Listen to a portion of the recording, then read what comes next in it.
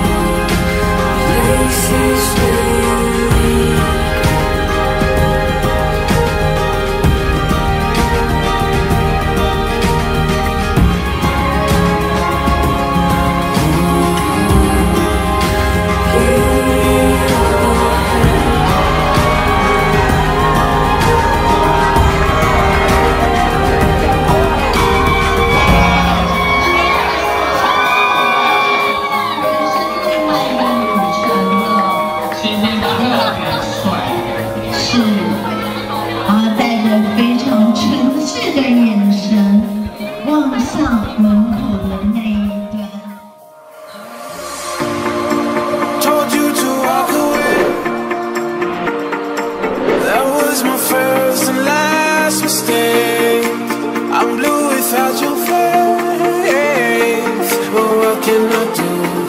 i I'm just a sinking ship And you're just a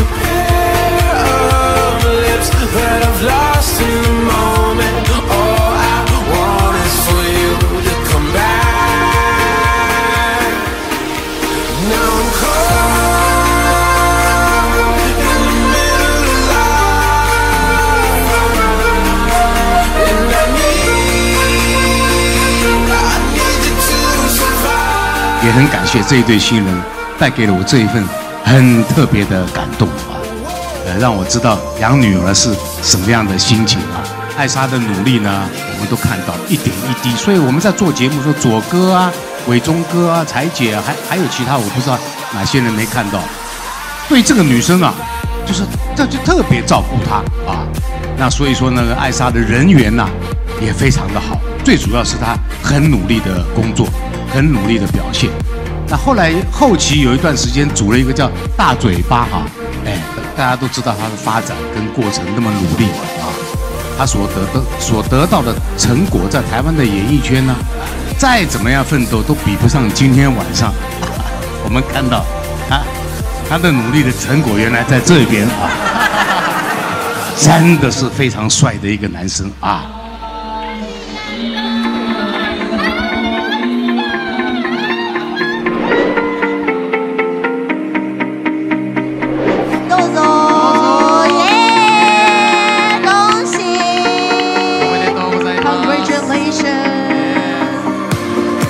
所以有时候礼拜三啊或礼拜四啊，我们自己私底下都会骑，然后我们骑车，然后去吃早餐啊，或者吃吃晚餐什么的。那我想说，礼拜五的时候刚好可以带给豆腐还有一些朋友们一起骑。好，那我们骑了两三次呢，我觉得哎，艾莎好像还蛮喜欢骑单车的，所以我就没有太担心她。然后直到有一次，我记得很清楚，在一个礼拜二的晚上。我传给艾莎，我问她说：“艾莎，今天晚上要骑单车吗？”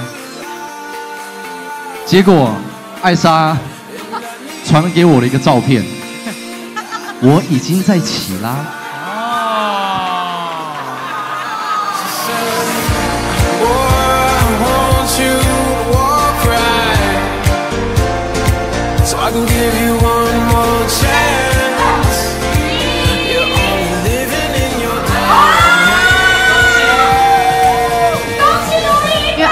是一个很爱笑的女孩。然后呢，从她的手中接过捧花，我也觉得非常非常的幸福，然后也很开心。呃，谢谢你的捧花。